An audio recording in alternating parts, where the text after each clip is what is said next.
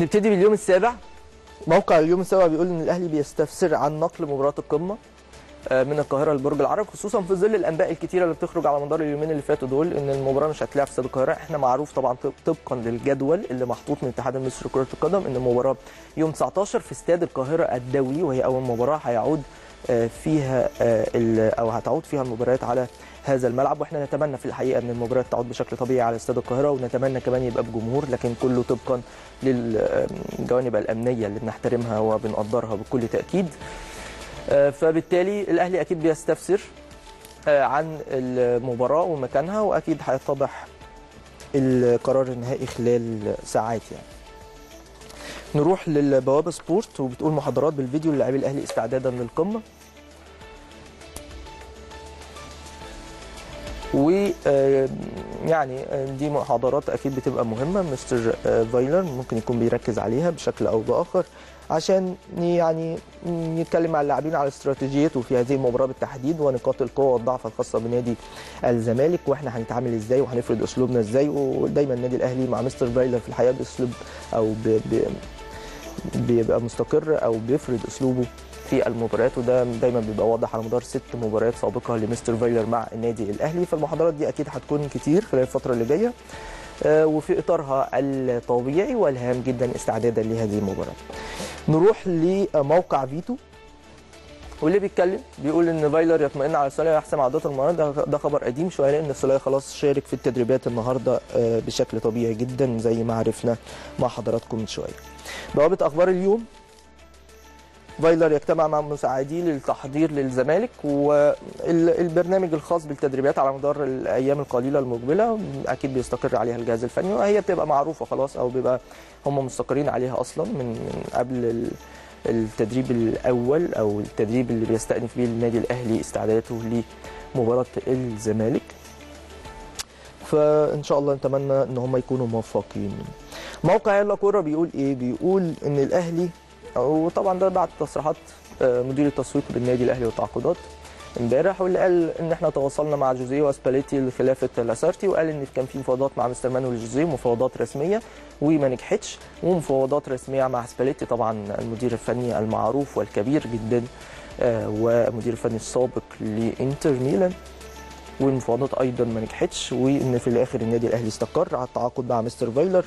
وأعتقد إن هو كان شيء آه، حتى الآن يعني في الحقيقة يبدو إن هو اختيار مميز جدا وجيد وموفق للنادي الأهلي ونتمنى نجاحه دايما واستمراره في هذا التألق يعني. نروح لفي الجول وأخيرا عرفنا القيمة الحقيقية لصفقة حسين الشحات برضه امبارح مدير التعاقدات والتسويق بالنادي الأهلي قال إيه؟ قال إن الكلام اللي كان كتير إن حسين الشحات جه النادي الأهلي ب 150 مليون جنيه مصري ده كلام مش صحيح اطلاقا وإن حسين الشحات آه، جه انضم للنادي الأهلي مقابل 5 مليون دولار يعني 80 مليون جنيه مصري هي دي قيمه الصفقة الحقيقية وإن النادي الأهلي كمان طبقا للتصريحات يعني امبارح إن النادي الأهلي ما دفعش كل ال 80 مليون بالعكس حسين الشحات تنازل عن جانب مادي كبير جدا علشان ينضم للنادي الأهلي وإن دي كانت رغبته الأولى والأخيرة في ظل بعض العروض اللي جات له سواء من داخل أو خارج مصر وكانت عروض أكبر ماديا. ده إن دل يدل على إيه؟ يدل على إن حسين الشحات ده عاشق للنادي الأهلي. ضحى بحاجات كتير جدا عشان ينضم للنادي الأهلي وهو ده النوع من اللعيبة اللي إحنا محتاجينه في الحقيقة. لعيب يكون شاري النادي حابب إن هو يكون موجود. وطبعا كل الموجودين دلوقتي شارين وبيحبوا النادي ما فيهاش نقاش يعني.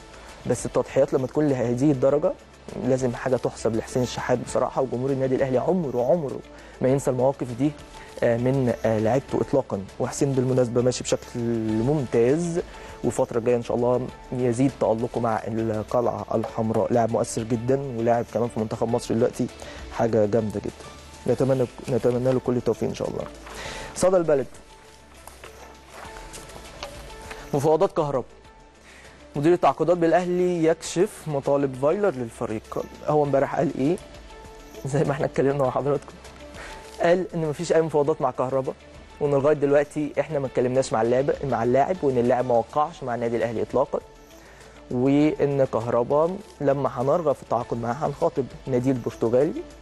ونمشي في الأمور القانونية ودي أو ده أسلوب معتاد ومعروف في النادي الأهلي وعند مسؤولي النادي الأهلي. وقال إن هو ملناش أي دخل خالص في رحيل كهرباء عن نادي الزمالك وانتقاله لنادي في البرتغال النادي الأهلي ما كانش ليه أي يد في هذه الجزئية ويوم ما النادي الأهلي يفكر في التعاقد مع كهربا هيسلك الطرق الشرعية في التفاوض مع نادي البرتغالي وكمان قال إن مطالب فايلر لسه ما اتحددتش وإن الراجل ما قعدش مع أي حد خالص من المسؤولين في النادي الأهلي وما طلبش أي حاجة خالص من أي حد داخل القلعة الحمراء وكلها تأكيدات من مسؤول التعاقدات في النادي الأهلي.